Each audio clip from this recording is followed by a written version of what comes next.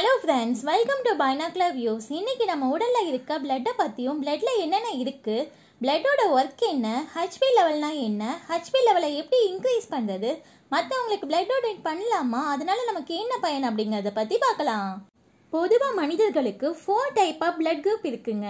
AB AB ஓன்னு இதை எப்படி வகைப்படுத்துகிறாங்கன்னா பிளட்டில் இருக்க லைட் ப்ரோட்டீன்னு சொல்கிற ஆன்டிஜனை பொறுத்து தாங்க வகைப்படுத்துகிறாங்க ஏ ஆன்டிஜன் இருந்தால் ஏ குரூப்னும் பி ஆன்டிஜன் இருந்தால் பி குரூப்னும் ஏபி ஆன்டிஜன் இருந்தால் ஏபி குரூப்னும் ஆன்டிஜன் இல்லாததை ஓ குரூப்னும் ஐடென்டிஃபை பண்ணுறாங்க சராசரியாக ஒரு மனித உடலில் ரத்தத்தின் எடை ஏழு பர்சன்ட்லேருந்து எட்டு பர்சன்ட் வரைக்கும் இருக்கும்.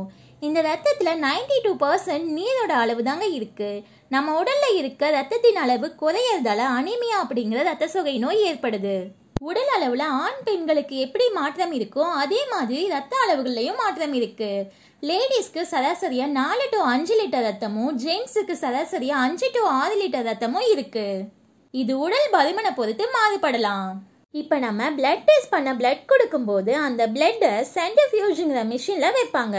அந்த மிஷின் பிளட்டை வேகமாக சர்க்குலேட் பண்ணும். இதுக்கப்புறம் நம்ம பிளட் மூணு டைப்பாக பிரியும்.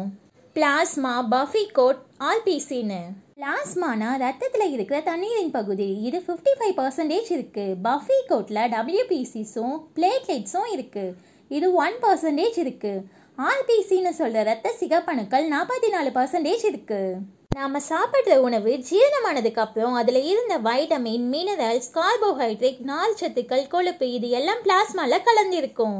இந்த சத்துக்களை எல்லாம் பிளாஸ்மா பிளட் மூலமாக உடல் உறுப்புகளுக்கு கொண்டு சென்று உடல் உறுப்புகளோட செல் வளர்ச்சிக்கு உதவுது. நம்ம கை கால் வலியாக இருக்குன்னா ஸ்ட்ரென்த்துக்காக மட்டன் சூப் வெஜ்ஜில் உளுந்தங்கஞ்சி இந்த மாதிரி சாப்பிடுவோம்.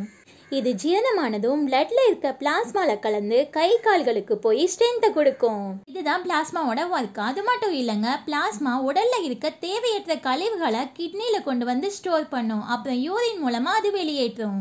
நம்ம நார்மல் பாடியோட temperature thirty seven to thirty eight degree centigrade இந்த பாடி டெம்பரேச்சரை பிளாஸ்மா தான் பேலன்ஸ்டாக வச்சிருக்கு. நெக்ஸ்ட் பஃபி கோட்டில் டபிள்யூபிசிஸ் அண்ட் பிளேட்லெட்ஸ் ஒன் பர்சன்டேஜ் இருக்கு. டபிள்யூபிசிஸ் அப்படின்னா ரத்த வெள்ளை அணுக்கள். இந்த ரத்த வெள்ளை அணுக்கள் நம்ம உடலுக்கு நோய் எதிர்ப்பு சக்தியை கொடுக்குது. பாக்டீரியா வைரஸ் இது மாதிரியான நோய் கிருமிகளை எதிர்த்து போராட டபிள்யூபிசி அப்படிங்கிற ரத்த வெள்ளை அணுக்கள் தான் நமக்கு உதவுது. பிளேட்லெட்ஸ் இப்போ உடலில் ஏதாவது சின்னதாக காயமாகுதுன்னா அதில் ரத்தப்போக்கு ஏற்படும். அந்த ரத்தத்தை ஃப்ரீஸ் பண்ண பிளேட்லெட் சப்போர்ட் பண்ணுது.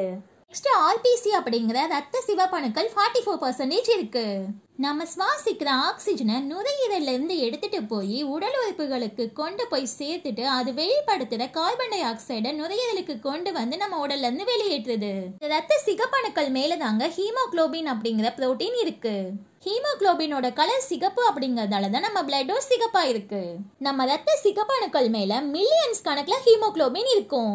ஒரு ஹீமோக்ளோபினில் ஃபோர் ஆக்சிஜன் மாலிகூல்ஸ் இருக்குது ஹீமோகுளோபினா அயன் ரிச் புரோட்டீன்ஸ்னு சொல்லுவாங்க.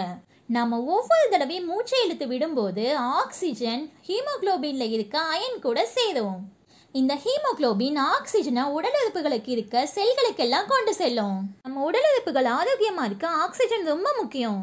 ஹெச்பி லெவலை இன்க்ரீஸ் பண்ண இரும்பு சத்து அதிகம் உள்ள உணவுகளை எடுத்துக்கணும்.